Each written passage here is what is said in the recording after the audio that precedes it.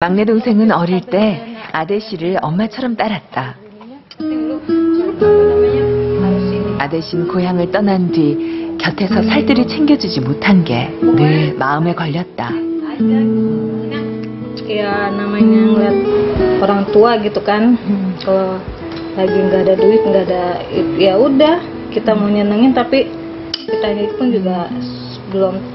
Belum di- ya sedikit doang nggak nggak terlalu gitu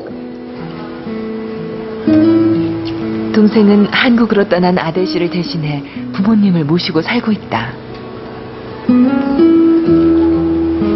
그동안 얼마나 마음고생이 심했을까. 그 생각을 하니 눈물이 쏟아진다. 동생에게 무거운 짐을 지어준 것 같아 마음이 아프다. 인도네시아는 원래는 큰딸 해야 돼, 책임이요. 하지만 제가가 없으니까 한국에서 있어. 그래서 동생한테 너무 미안하다고요. 우리 엄마가 책임해야 되고, 지금도 일심 중고요. 제가 있으면은 같이 소피하라고 애기 옷 좀, 제가 또 좀 알려줄, 제가, 가- 제가 가 먼저 애기 때니까 좀 갈아주셔야 되고, 이렇게 했는데, 지금은 다 못하니까 너무 미안하다 마음이. 지금 아들 씨가 할 수 있는 것은 동생에게 더 열심히 사는 모습을 보여주는 것 뿐이다.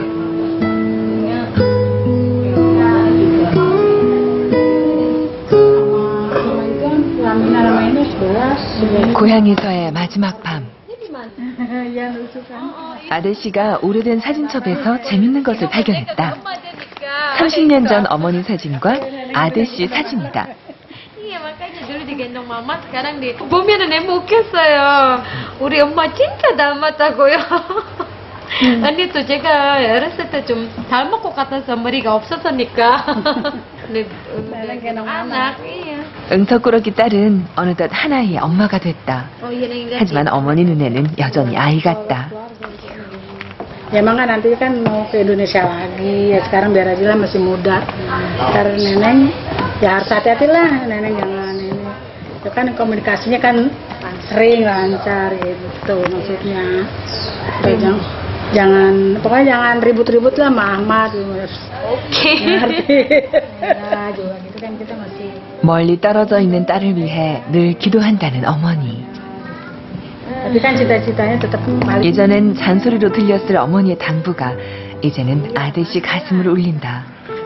조금만 더 어머니 곁에 있고 싶지만 내일이면 다시 떠나야 한다.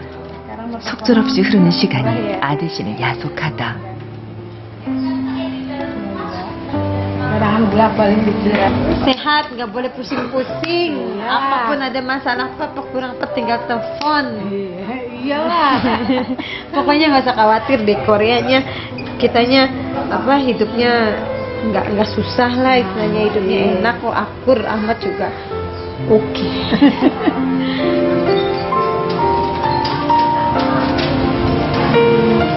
이별의 시간은 어김없이 찾아왔다. 아들씨는 아침부터 내내 가족들 얼굴을 피하고 있다.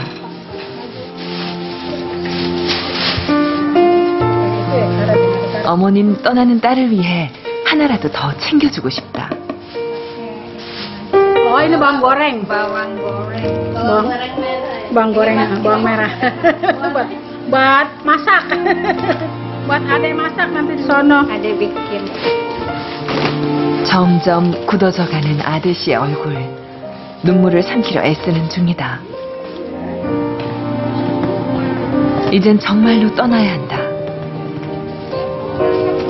이제 가면 언제 또 볼 수 있을까? 아버지도 서운한 기색을 감출 수 없다.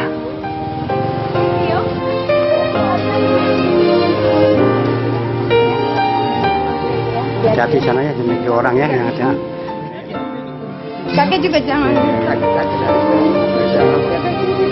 결국 참았던 눈물을 터뜨리고 마는 아들씨. 좋은 얼굴로 헤어지고 싶었는데 마음대로 잘 안 된다.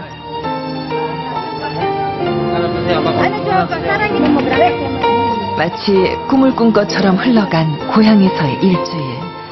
잡을 수 있다면 지금이라도 꽉 붙.